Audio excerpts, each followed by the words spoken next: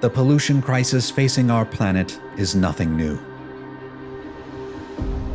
In 1974, business visionary and war veteran Terence Silver founded Dynatox.